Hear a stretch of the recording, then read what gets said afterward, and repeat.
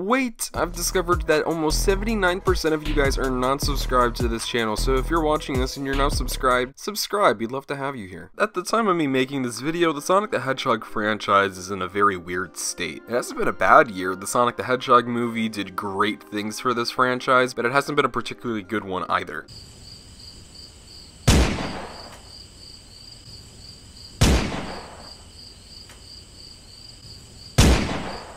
Gives me depression. Sonic was created and is still very much viewed as a video game character, and this year we haven't received a lot of video game content. All of it has been on mobile. The only thing that really released was Sonic at the Olympic Games, which kind of came and went already. But I feel like a lot of us have been overlooking and taking for granted something that's truly amazing. I'm talking about a game that pays homage to the past, is relatively successful, and it's still pushing itself forward with new releases and updates. The game I'm of course talking about is Sonic Runners Adventure. I love this game so much. It's so amazing. Look at it. It hasn't been touched in years. Yeah, if you guys couldn't tell, that was sarcasm. The game we're talking about is Sonic Forces Speed Battle. I know, the F word might scare you, but just refrain from your fear, because this game has truly kept the spirit of Sonic alive while we haven't really had a lot this year in terms of the video games. I know having mobile only might not be your cup of tea, but it's some content, and it's been giving us some really cool stuff that I feel like a lot of us haven't been appreciating that much. With so many awesome updates and events going on, I thought it'd be an amazing time to give a nice love letter and backstory to this game that I feel like a lot of us have been taking for granted. Now the backstory to this game isn't anything that crazy. It doesn't have the weirdest or funniest story, the most adversity. In fact, the game is more interesting now than it was back then because of all the updates that have happened. But I do think that there are some interesting tidbits on how this game came to be. This game started production in 2016, but it wasn't really originally developed as Sonic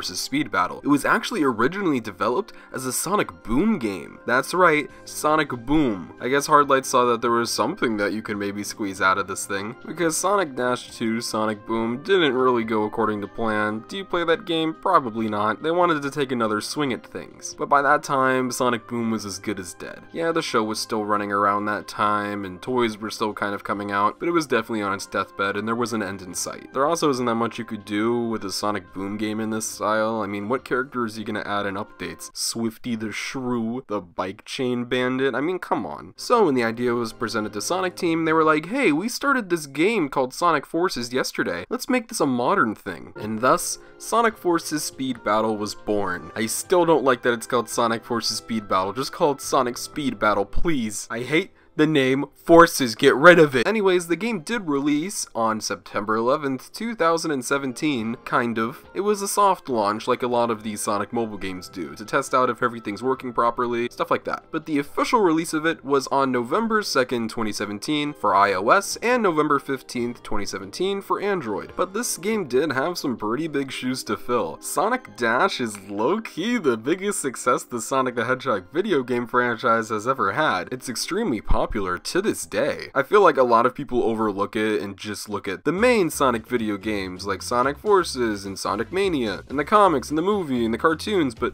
they just don't look at the mobile market. Like, it's huge. The game's had like, what, over 400 million downloads worldwide? It's the most downloaded Sonic game ever. And this game is the real follow-up to that. Sonic Dash 2 Sonic Boom was, you know, just Sonic Dash with Sonic Boom characters. This is a true proper follow-up because it's just brand new and different. It's online. And I think that was a very big factor with this game's success. It was like online racing with Sonic. It gives it that more competitive aspect, if you will. You're going against other people. There's more of a challenge, unlike Sonic Dash, which is just an endless runner. You go against other people, and it's really fun. Now, you guys have to remember, Sonic Dash is very popular, so obviously a follow-up to this will catch some eyes. Is it the greatest game of all time? No. It's a mobile game. So as long as it's inoffensive, well made, and fun, who cares? At the time of me making this video, this game has over 50 million downloads. While that's nowhere near as ginormous as the first Sonic Dash, it's still a respectable number. Now I know a lot of you guys are asking the question, Ricardo, why is this video titled the best Sonic game of 2020? One, Ricardo, you stupid idiot, the game released in 2017. Do you know how to count? Poopy head. And number two, I'm gonna pretend I don't even know what's going on with this game currently, so could you please tell me? Of course, audience member who is really rude. I will explain. This game has turned from a simple Sonic Forces mobile spin-off that most people would forget in a couple weeks to an absolute love letter and callback slash Sonic Runners follow-up almost. You might be questioning that comparison and I understand this game plays nothing like Sonic Runners, but Sonic Runners had so much fan service, obscure characters, weird costumes, awesome events, and Sonic Forces Speed Battle has obscure characters, weird costumes, and awesome events. Obviously, it doesn't play anything like Runners, but it's taken some of what people loved about Runners and applied it to itself. There's so much to go over here, so let's just dive into all of the awesome stuff that they have going on over there at Sonic Forces Speed Battle. Of course, the game started off with your standard characters, but it's what they've added in the past, what, two years? That's been really great. Not only do we have pretty much all of the roster of Team Sonic Racing, but we also have the Babylon Rogues, Cream, actually is being used in Sonic media. I know it's crazy, but this game also has major adventure representation. Of course, the adventure fan base has become much more vocal. We all are waiting for those remakes or an Adventure 3. So seeing people like Tikal and Chaos appear in this game is awesome. I mean, Tikal is here. When do you see this daughter of a gun? And yeah, you have three members of the Deadly Six.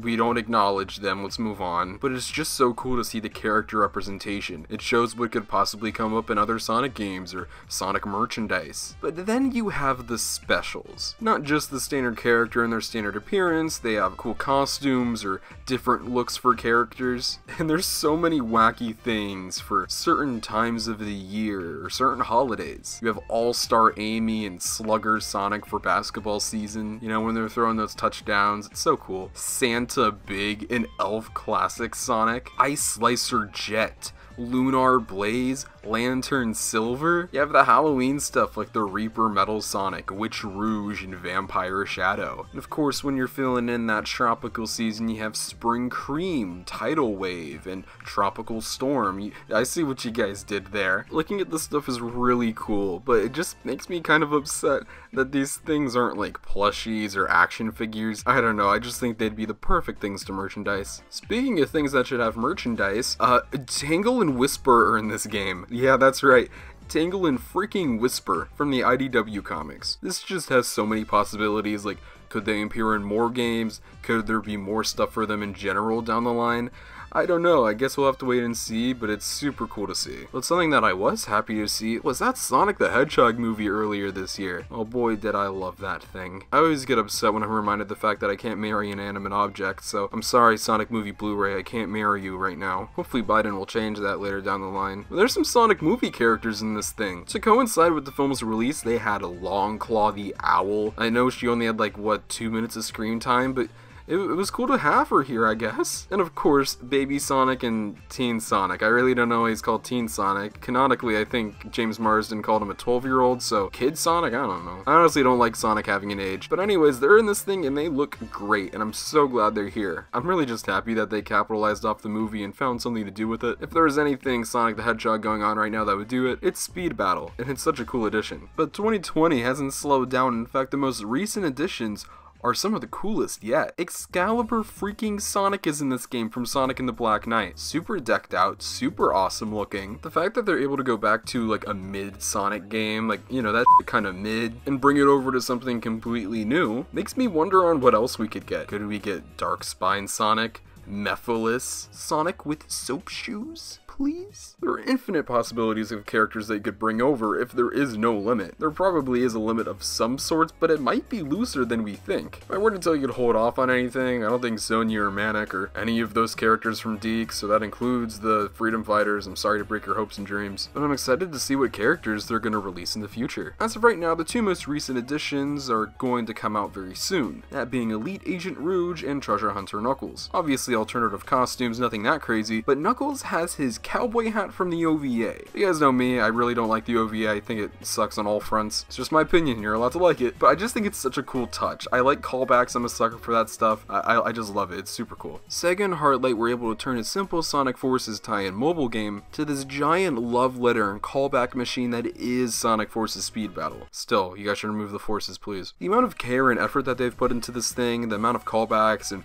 probably the push that they've had to do to get some of these characters in this thing is really commendable people, and I really do appreciate it. I know this obviously shouldn't be the best Sonic game of 2020. It wasn't even made this year, but it has the most content out of any Sonic game this year and has got us probably the most excited, but at this point I do think we just have to be patient. This is the definition of the perfect time waster and thing to hold somebody over. It's the perfect game to play on the bus or in the car on your way to work, or I actually don't recommend you do that. You're gonna crash. Ah. So if you're looking for some Sonic the Hedgehog fun in 2020, check out Sonic Forces Speed Battle. It's available right now on the Apple App Store and the Google Play Store. It's a fun time and you will not regret it. So in the meantime, I'm gonna sit back, kick my feet up, and wait for Chris Thorndyke to be added to Sonic Forces Speed Battle. Come on, Hardlight, make it happen.